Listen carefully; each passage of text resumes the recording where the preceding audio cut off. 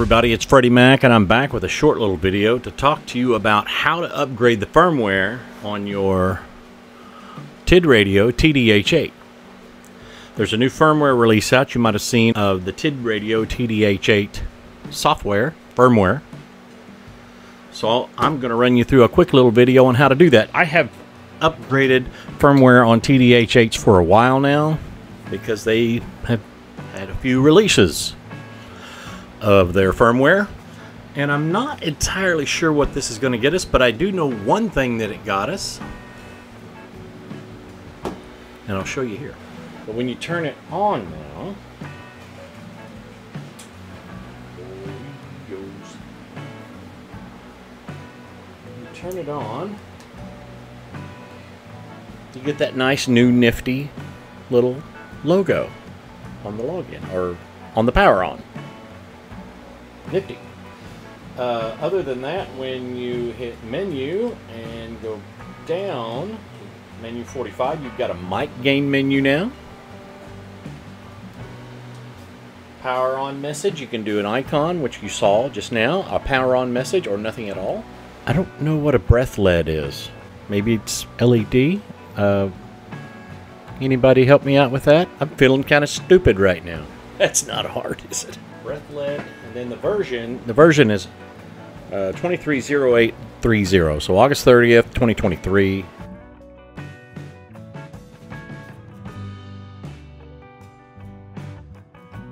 And then the regular items for the menu. So how do we do this? Okay. We're going to jump back and do a little screen searching here. Okay, there we go. So I tried to adjust the uh, resolution here to make it look a little better and it kind of squeezed the picture a little bit, but you want to go to the link provided. It's H846S in parentheses 230830.bin. And this is not programming software as it says. It is software, but it's going to be the firmware upgrade software. You're going to hit the download button and download it, which I have already done. So let me just take you there now. And it comes with a, a README file, which you should very much indeed read in great detail. It's right here. You should read every every sentence in this page. These pages, I should say. But I'm going to run through them with you and hopefully make this, well, thank you for doing that. And hopefully make this a little less painful process. You've got the README file, that's the bin file, which is your firmware update. And then you've got the IAP firmware upgrade.exe. That is the installer program. Install it. I, I, take that back. This is not the README file. This is the README file, and this is a temp file generated by that README file. So read the README file, please. Once you've read the README file and you've installed the software, then you're going to want to run the program. So once you're done, you got the uh, firmware upgrade installer installed. You're going to see this little file right here. You're going to run it, and it'll look like this. Now the first thing you've got to do is make sure your programming cable is installed, and mine is just a it's just a standard Baofeng K-type programming cable. It's FTT FTDI uh, with the prolific chip variant USB. It's always worked for me. It, it recognized COM7, so I, it's the one I chose. I hit OK. Next thing you want to do is grab that bin file. That's your brand new firmware. So you're going to hit Open File and navigate to it. So you know where you put it. Go there. That's it. The 23 of August 30th or 2023 August 30th dot bin. Hit that. Hit Open now, before we go any further, we want to get the radio ready. So, this radio, as you can see, got the old splash screen. When you hit menu, you go down, we got the GMRS 221026 version of firmware. This came to me as a uh, Gen 2 but it didn't have a C-type battery, which they did send later, by the way. I did get my C-type battery. I've already backed up the code plug, so I have programming software already ready. I'm going to plug this in, and for all giggles and purposes, you want to hold in on this because these connectors don't seat down into that socket very well. Should have been a straight out 90 in my opinion. Straight out 90. But no, we got the money saving L bracket, whatever. But you want to hold on down right there. But you want the radio turned off. I know this sounds weird, but turn it off, hold in the plug, and let's go back to our firmware. We're almost all ready to go here.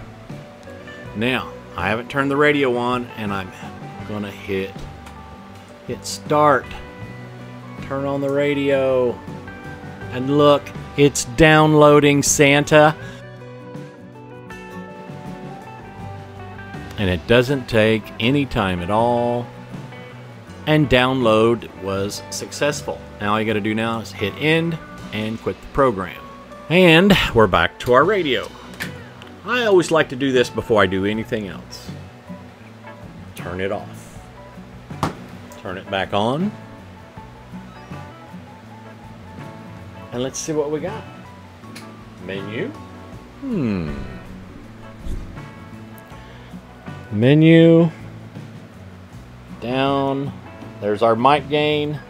Power on message. I like to hit menu and send it to icon.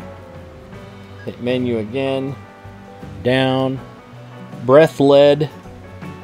I obviously, I honestly don't know what that means. And then there's the version GMRS underscore 230830. Let's hit exit. Power it off. Power it back on. And there's our new splash screen icon. So what's new? I don't know. I hope I just didn't come to a place of no return. But hey, when they send you enough of these things, you can experiment a little. So let's go to the VFO and there we go. Type in, well, 444 100's in the VFO. And I can't transmit. So I'm going to try something that I know works on the older version of firmware. Don't know if it's going to work on this one. Power it off, hold down the PTT and the pound sign. Suffer with arthritis and then turn the radio on. Invalid unlock system. Data will be eraser. Oh, not invalid. Initial unlock SYS. Data will be eraser. Yes, not. So I'm going to turn that back off. I'm going to double check that I've got my code plug saved. So, PTT, whoops, turned off, PTT, pound sign. Initial unlock system. Data will be eraser, yes, not. So which button gives me what? I'm going to hit menu for yes. Radio reboots and tells me welcome. Let's see what the menus say.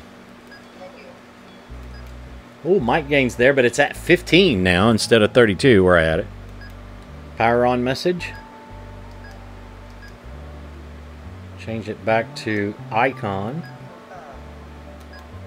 Breath led, five seconds. Maybe it's the... Oh, I bet that's the screen, maybe? Let's try something.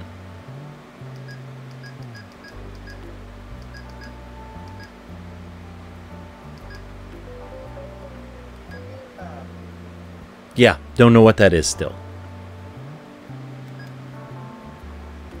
Now the, the firmware says 230830. It doesn't say GMRS in front of it. So let's exit that. And yes, we can... Ooh, I just reset everything, I think. Wow, hope, hope we're still recording. I don't know what just happened. Let's turn the power down. Yo, yeah, my camera disconnected, didn't it? That's what happened. Okay, and we're back. when I keyed up the radio earlier, it killed my camera. So there you go, folks, the TID Radio TDH8 firmware upgrade. It's really not that hard if you take the time to prepare. If you don't follow the directions closely, there's a chance you can brick your radio. That's just all there is to it. Obviously, you want to think long and hard. you actually need to upgrade your radio's firmware.